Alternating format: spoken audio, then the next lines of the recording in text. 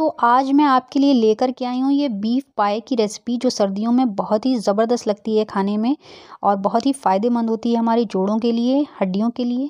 तो अगर रेसिपी पसंद आए तो प्लीज़ वीडियो को लाइक करें चैनल पर पहली बार आए हैं तो सब्सक्राइब ज़रूर से कर लें। तो चलिए आइए देख लेते हैं कि हमने इस रेसिपी को कैसे तैयार किया। अस्सलाम वालेकुम welcome to my channel friends तो आज मैं आपके साथ शेयर करने जा रही हूँ ये सर्दियों की बहुत ही पसंदीदा रेसिपी जो कि है बीफ पाए की रेसिपी तो इसके लिए मैंने यहाँ पर ले लिया है ये बीफ पाए ये दो पाए हैं, इसे मैंने अच्छे से वॉश करके यहाँ पर रखा हुआ है।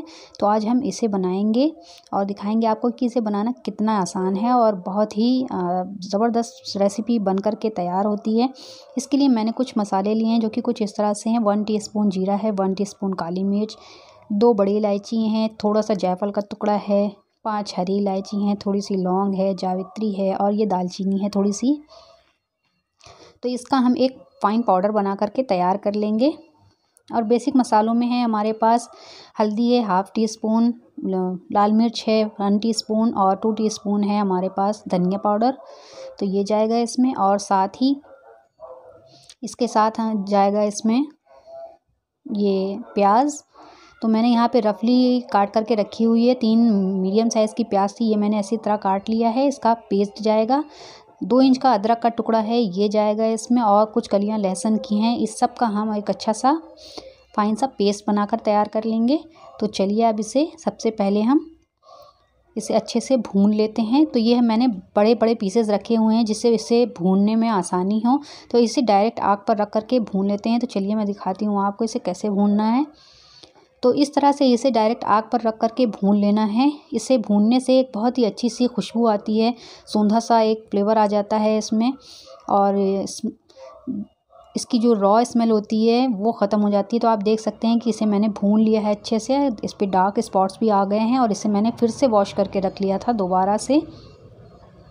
तो अब हम इसे सबसे पहले गलने के लिए रख देंगे। तो चलिए अब इसे कुकर में डाल करके रख देते हैं गलने के लिए। और इसे अच्छे से गला लेंगे। तो ये मैंने सारा इस कुकर में लगा दिया है और अब इसमें इतना पानी डालेंगे कि जिससे ये सारे पाए अच्छे से इसमें डूब जाएँ। तो यहाँ पर मैं पानी डाल रही हूँ। बस इतना पानी रखना है इसमें कि सारे पाए हमारे अच्छे से डूब जाएँ और गलने में इसे आसानी हो। तो थोड़ा सा पानी और मैं डालूँगी इसमें अभी। तो ये मैंने पानी थोड़ा सा और डाल दिया है। अब इसमें हम डालेंगे कुछ मसाले। तो सबसे पहले हम यहाँ पर कुछ खड़े मसाले डालेंगे, जो कि कुछ इस तरह से हैं कि मैंने यहाँ पर एक बड़ा तेज़पत्ता लिया है, जिसके मैंने दो टुकड़े कर लिए हैं, ये डाल देंगे। एक छोटा तेज़पत्ता है। दो हरी इलायची डाल देंगे, कुछ लौंग है, ये डाल देंगे इसमें।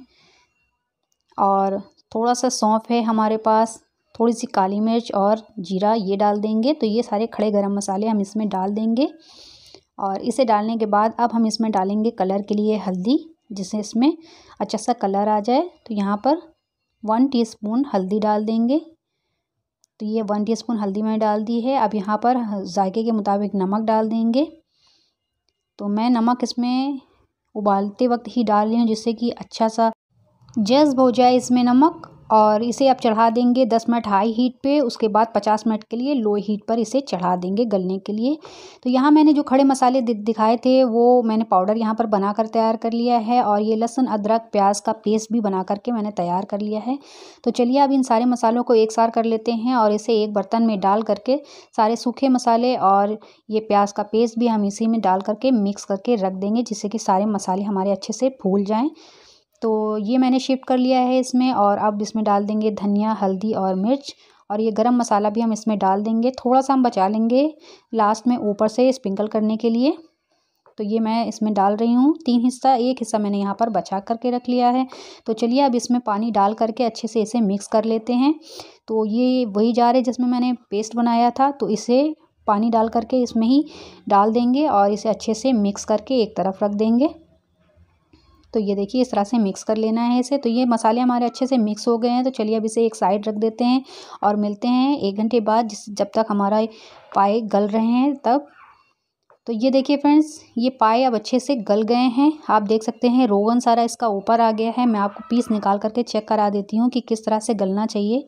इसकी गलने की निशानी ये है कि ये बोन से फ्लैश इसका एकदम अलग हो जाएगा और ये बहुत ही अच्छे से गल जाएगा, तभी इसका मज़ा आता है, दुगना हो जाता है, इसका मज़ा जब तक ये अच्छे से नहीं गलता तो मज़ा नहीं आता। तो ये अच्छे से गल गया है हमारा। तो चलिए अब इसे साइड रख देते हैं और अब मसाला भून लेते हैं। तो यहाँ पे मैंने ऑयल ले लिया है। ऑयल हमारा अच्छे से गर्म हो गया है। इसमें मैंने एक बड़ी साइज़ की प्याज काट ली थी। इसे हम फ्राई कर लेंगे और फ्राई करके इसे हम निकाल लेंगे। इसे ऊपर से गार्निश करने के लिए यूज़ करेंगे हम। तो बस ये सारी प्याज निकाल लेंगे। बस थोड़ी सी इसमें पड़े रहने देंगे। तो ये देखिए, ये मैंने निकाल लिया है और अब जो मसाला मैंने भिगो करके रखा हुआ था, वो इसमें डाल देंगे सारा और इसे अच्छे से भूनेंगे। जब तक मसाले में से अच्छी सी खुशबू ना आने लगे और हमारा ऑयल मसाला सेपरेट ना कर दे, तब तक इसे भूनना है। जब तक इसका कलर चेंज नहीं हो जाता तो ये देखिए, कुछ इस तरह से इसे चलाते हुए भूनते जाना है। बहुत अच्छे से इसकी भुनाई करनी है फ्रेंड्स तो ये देखिए, ये अब अच्छे से भुन गया है। आप देख सकते हैं ऑयल इसका हल्का हल्का सेपरेट हो गया है और अच्छी सी खुशबू आ रही है इसमें से और कलर भी काफ़ी हद तक चेंज हो गया है इसका। तो चलिए अब हम पाए के पीसेज इसमें ऐड कर लेते हैं। तो इस तरह से एक एक करके हम सारे पीसेस को ऐड कर लेंगे। तो यहाँ मैंने सारे पीसेस ऐड कर लिए हैं, आप देख सकते हैं। अब इसे चला लेंगे हल्के हाथों से। आप देख सकते हैं कि ये काफ़ी गला हुआ है। बिल्कुल सही है ये, इसी तरह इसको गला हुआ होना चाहिए। तो इसे चला लेंगे और चलाने के बाद में जो इसकी यखनी है, यानी कि जिसमें हमने पानी में उबाला हुआ था पाए तो वो पानी हम इसमें ऐड करेंगे। क्योंकि बहुत ही लजीज पानी होता है ये तो इसी पानी को हम इसमें ऐड करेंगे और इसमें काफ़ी रोगन भी है तो धीरे धीरे करके सारा पानी हमें इसमें ऐड कर लेना है। और ऐड करने के बाद इसमें हम इसकी कंसिस्टेंसी चेक करेंगे। अगर आपको गाढ़ी लगती है तो आप थोड़ा पतला कर सकते हैं। तो इस तरह से मैंने कर लिया है। इसमें सारा पानी डाल दिया है। अब आप देख सकते हैं, नीचे कुछ हड्डियाँ और कुछ मसाले जो मैंने डाले थे वो बच गए हैं तो इसे साइड कर देंगे और इसे चला करके एक बार चेक कर लेंगे। तो चलिए इसे चेक कर लेते हैं। इसे इस तरह चला करके चेक करेंगे। ये देखिए तो मुझे कंसिस्टेंसी इसकी बिल्कुल ठीक लग रही है। इतना ही पतला चाहिए ये, ना इससे गाढ़ा होना चाहिए, ना इससे पतला होना चाहिए। और इसे थोड़ा सा ऐसे रखने में ही, इसे पीने में बहुत मज़ा आता है। आप इसे ऐसा सूप भी पी सकते हैं। ये हड्डियों के लिए बहुत ही फ़ायदेमंद होता है।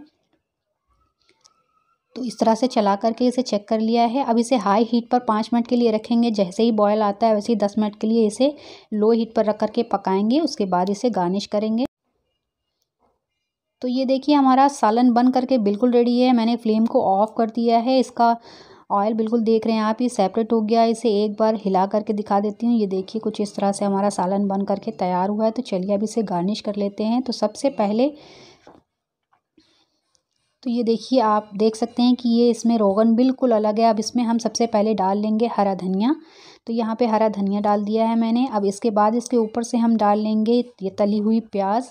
तो तली हुई प्याज जो हमने निकाल करके रखी हुई थी, उसे थोड़ा सा डाल देंगे इसमें और बाकी की हम ऊपर से डालेंगे जब हम मैं डिश आउट करूँगी तब।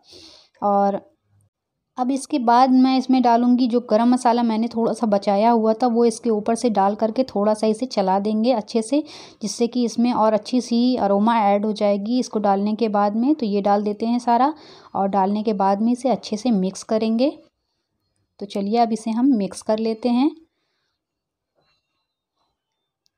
और मिक्स करने के बाद मैं इसे करूँगी डिश आउट और फिर दिखाती हूँ आपको कि ये कितना शानदार बन करके तैयार हुआ है। और आप भी इसे ज़रूर ट्राई करें अपने किचन में, ये आपको बहुत पसंद आने वाली है रेसिपी इंशाल्लाह। तो चलिए अब इसे डिश आउट कर लेते हैं। तो ये देखिए फ्रेंड्स ये बन करके तैयार है हमारा शानदार सा पाया का सालन। तो इसे गार्निश कर लेते हैं। तो अदरक, हरी मिर्च, प्याज और हरा धनिया यहाँ पर मैंने लिया हुआ है। सबसे पहले हरा धनिया डाल लेंगे इसके ऊपर। और इसके बाद इसमें डालेंगे तली हुई प्याज। साथ ही साथ हम इसमें डालेंगे हरी मिर्च। ये ज़्यादा तीखी वाली हरी मिर्चें नहीं हैं और ये जूलियन अदरक जो मैंने काट करके रखी हुई थी, ये डाल लेंगे।